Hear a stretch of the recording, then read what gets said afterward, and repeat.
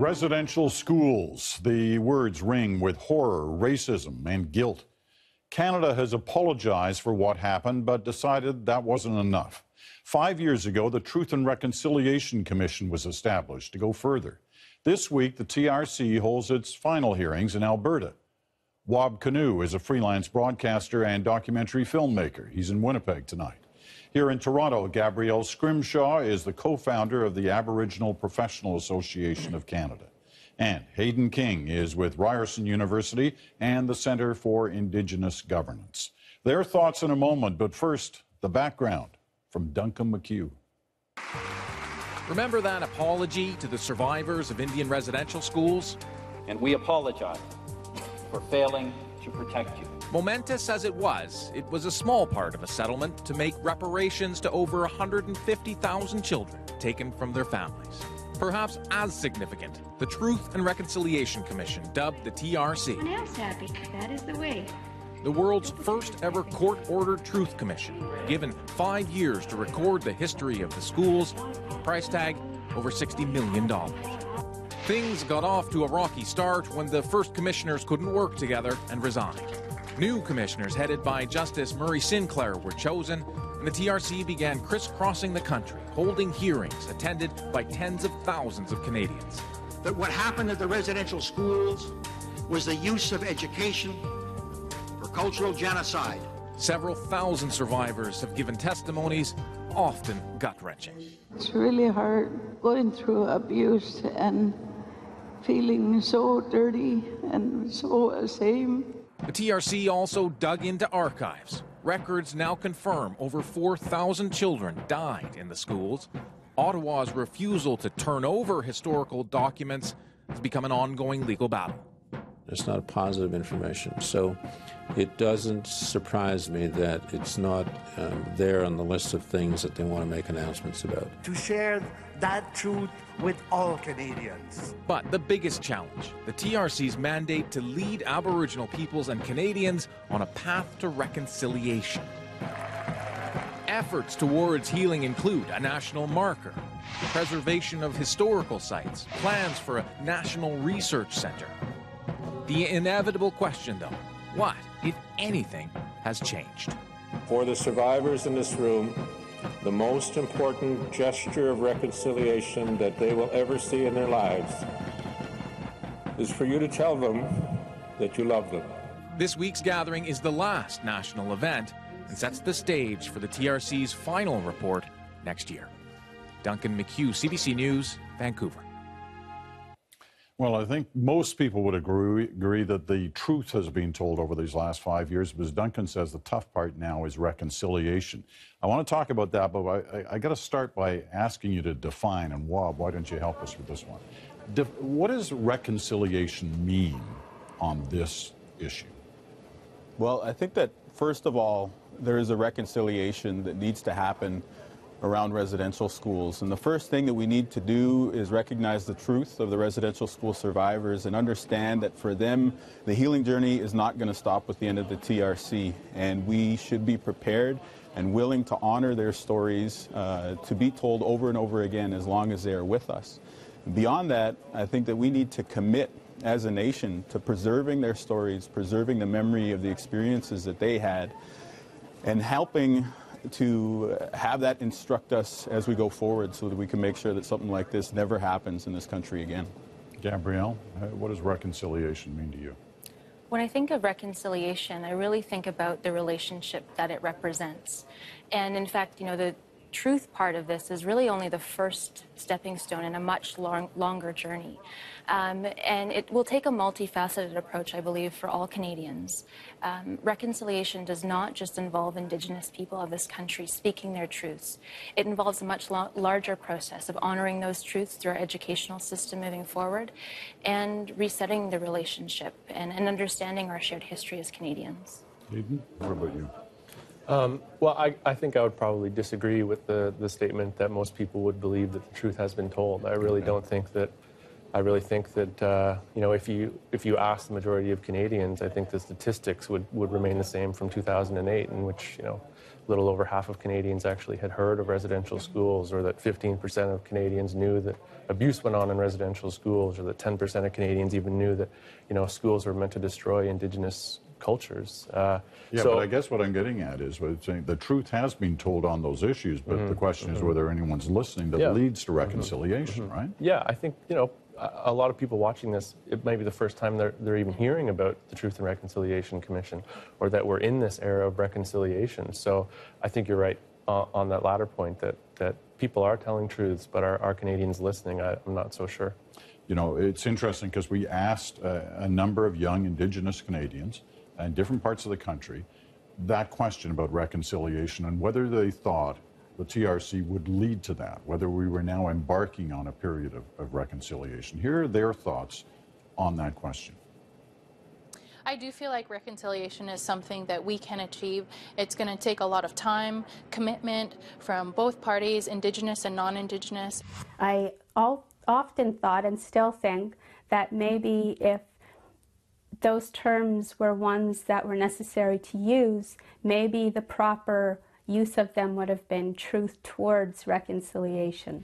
Do I believe that reconciliation is achievable? I do. Do I believe reconciliation is achievable under the current mandate of the Canadian Truth and Reconciliation Commission? No. All right. Now, it's interesting because there's a difference of opinion there, but I'm trying to understand what that last point was, what that last fellow was trying to tell us uh, in his concerns about what he thinks can happen. What, what's he telling us? Well, I can't read uh, Michael Champagne's mind, but what I think that he's getting at is that there's a very delineated uh, mandate that the TRC has. And in fact, that will come to an end in 2015. And it's unlikely that we're going to achieve a full reconciliation uh, between Indigenous people and the rest of the country in the next year or so. Rather, what it is going to be is an ongoing process uh, that takes place over the rest of our lives. So what I think that we should really be starting the conversation about is how are we going to take the truths that the TRC tells us and use that to inform us on the way forward. And the way that I would suggest that Canadians might do that is based on a question that I've been asking myself these past five years as I've been hearing the stories of residential schools. I've been asking myself, if I were alive during that era, what would I have done? Could I have stood up for justice? Could I have stood up for these children? And by forming that bond of empathy, I think that we can start to change things today, which are the echoes and the legacies of the residential school experience. So we ought to ask ourselves, what can we do today to address missing and murdered Indigenous women? What can we do today to address the number of Indigenous children who are in the child welfare system or the funding that gap that exists with respect to First Nations children? So I think that we really need to look at the TRC, hear the truths that are telling it, that it is telling us rather, and then find ways that we can apply that to the contemporary context in which we now live. Gabrielle, what would you, uh, what would you tell those young people? You know, I really believe, and, and Wab hit this point, you know, right on its head, that we write our, our history as a country every single day through the choices we make, through the things we say, through the things that we don't say. Um, and that's around our dinner tables and in our classrooms. And I think that the skepticism that you heard, you know, is justified.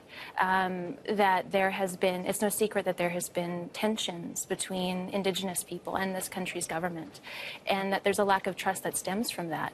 That being said, I also heard optimism when you sort of speak to Indigenous youth and Indigenous people across this country. That, you know what, seven generations of Indigenous people have gone through these um, residential schools. But as Indigenous people, we've been around for thousands of years uh, through our culture, our history. And I think that we'll be around for thousands of years to come. So I feel like there's an optimism there as well in the community for us to start looking forward as a community.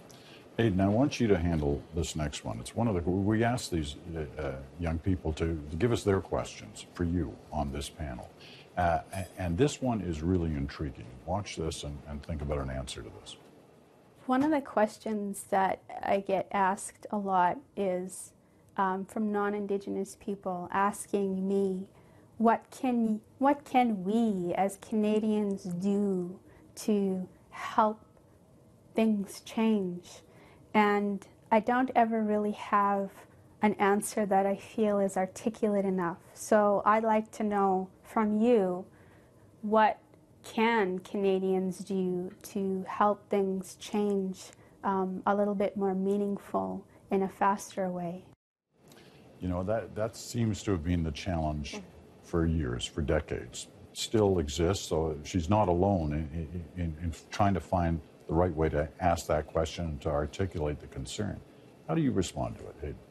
I think there, there's probably two parts to my answer. I think the first part is that that uh, Canadians should be educating themselves in a meaningful way, and beyond educating themselves, educating their friends and their family. And it's not a simple task. You know, I still have you know I still have friends and families that are that refuse to open a book and learn about it, Indigenous Canadian relationships, and it's a real problem. So it's a struggle. Uh, for Indigenous peoples to actually, you know, convince those to, to, to begin this learning journey and uh, uh, appreciate some truth. And so, first, educate yourself, educate your friends, educate your family, uh, but also, you know, start turning the mirror on yourself. You know, start looking at the institutions in Canadian society that continue to marginalize Indigenous peoples. The best place that Canadians can help is to start looking at our justice system and trying to answer the questions about why we have 90% in some jails, 90% uh, of the po- prison population native, or uh, nearly a thousand missing and murdered Indigenous women, or, or you know, hundreds of thousands of children in, in child welfare agencies. I mean, ec- uh, economic development, education, healthcare. Native people are at the bottom of every socioeconomic indicator in this country, and Canadians need to be asking critical questions about their own society. Uh, and so that's, I think, the, the second part of my answer, and where where uh, Canadians would serve the, uh, the the most good or help Indigenous peoples the most. Why do you think Canadians aren't asking themselves those questions, Gabrielle?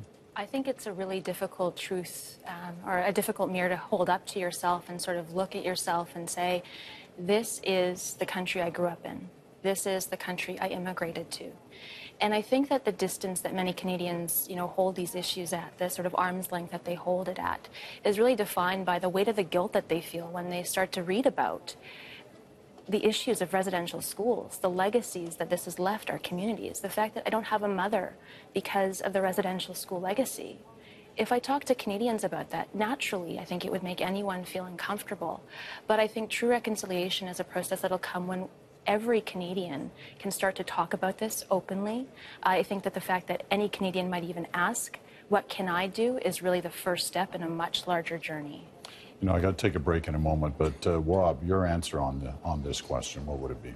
Well, just building off what Gabrielle and Hayden have said, I think that if I could strike a, strike a note of optimism when I travel around Canada, I do hear tons of Canadians saying that they want to do right by Indigenous people. And I think partially it's a generational shift that's happening. A lot of young Canadians recognize the lengths that we need to go to improve uh, the situation with respect to Canada's First Nations, Métis, and Inuit peoples. And if I can make one suggestion to those people who are thinking that way, it is to listen before you talk. The TRC has come about as a result of a failed experiment in paternalism and in trying to impose solutions on Indigenous communities from the outside. Today, Indigenous people are smart, we are increasingly educated, and we are empowered, and we are thinking long and hard about the solutions. What we need from other Canadians is partners who are willing to listen to us and work with us in order to bring those uh, better days about. All right, we've got to take that quick break I was talking about. Well, when we come back, this question. The Conservative government did what no previous government had done. It apologized for the horror of the residential schools. But was that enough? Does the government now need to do more?